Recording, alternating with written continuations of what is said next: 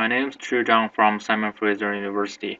I'm going to talk about my poster titled Stabilizing Photovoltaic Performance of PTB Polymer Solar Cells Using AZIDE Crosslinkers.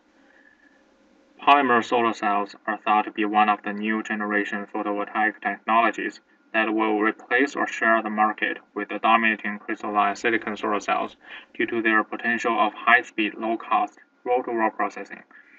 Although the steady growing efficiency keeps reassuring researchers the bright future of polymer solar cells, the lack of long-term stable performance hinders its entry into the PV market. Polymer solar cells usually adopt the bulk heterojunction morphology in their active layers. The interpenetrating network of donor and acceptor facilitates the separation of the bond electron hole pairs generated by the absorption of photons. However, the uh, as-cast morphology is thermodynamically unstable and tend to undergo large-scale phase segregation under solar cell operating conditions, which negatively affects the charge separation process. This degradation in turn causes an exponential drop of the photo conversion efficiency as evidenced by accelerated stability tests.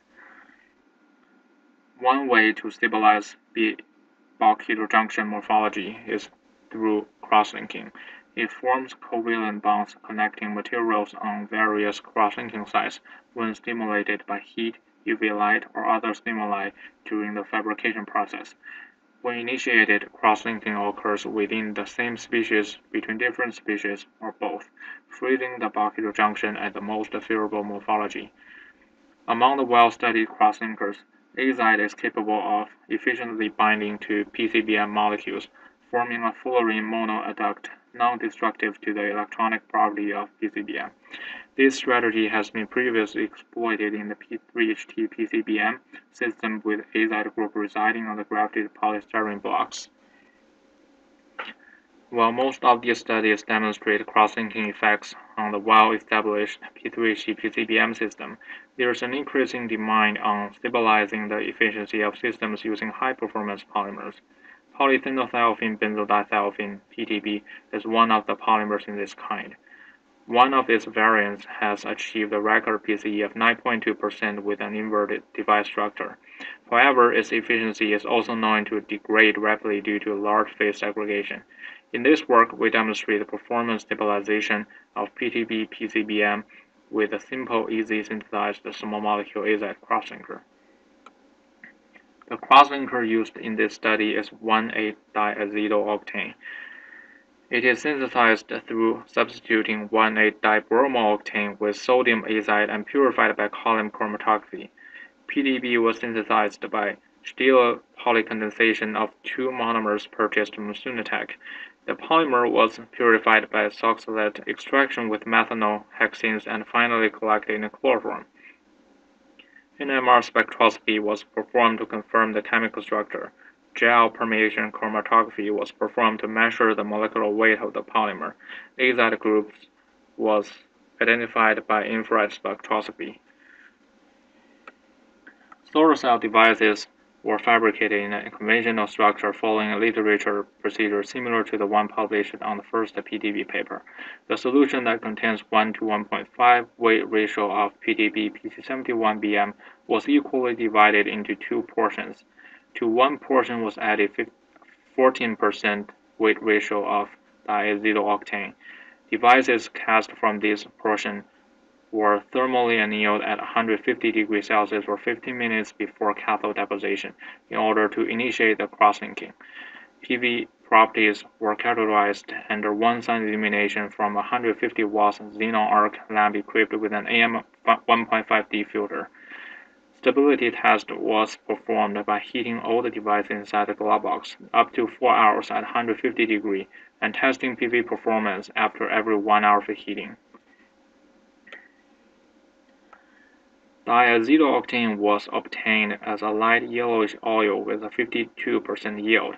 A sharp high-intensity peak at 2100 cm minus 1 on the IR spectrum confirmed the presence of azide groups. After purification and final precipitation in methanol, GPC showed PTB has a number average molecular weight of 34 kilograms per mole with a poly dispersity index of 1.4. The PV, perform, PV categorization results are summarized in Figure 2 and Figure 3. Despite that all devices show moderate to low efficiencies due to unoptimized fabrication conditions and old materials, the S2 group cast with diacetyl showed stabilized performance during the 4 hours of extended thermal annealing under 150 degree. The control group, S1 without the crosslinker, quickly lost and never restored the efficiency of the first hour of thermal annealing. The individual IV curves of S2 device remained almost unchanged throughout the annealing process, while those of the S1 device flattened out immediately after annealing, indicating a loss of photovoltaic properties. These results clearly indicate that diacetyl octane is capable of stabilizing the performance of PTB PCBM polymer solar cells, and this type of solar cell lose PV performance quickly when thermally annealed. The introduction of diacetyl octane and the required thermal annealing sacrifice some PV performance. The amount of diacetyl octane, time, and temperature of the initial annealing need to be tuned to best preserve the PV properties. As for the mechanism of the cross-linking, earlier attempt of synthesizing modified PTB with azide on the side chain resulted in an insoluble gel, indicating a possibility that azide also cross-links to the PTB backbone. In the light of this finding, we propose that three types of cross-linking occur in the active layer. PTB with PTB, PCBM with PCBM, and PTB with PCBM. Further studies are needed to investigate the real story of cross-linking process. Microscopic images of the film before and after cross-linking should also follow up. In conclusion, we've synthesized and characterized the cross-linking crosslinker 1,8-diacetyl-octane, capable of cross-linking materials in the in the active layer of PTB polymer solar cells. We've shown that the devices with diacetyl octane exhibited stable PV performance after prolonged heating process. This crosslinker may be applied to achieve a polymer solar cell with a longer lifetime.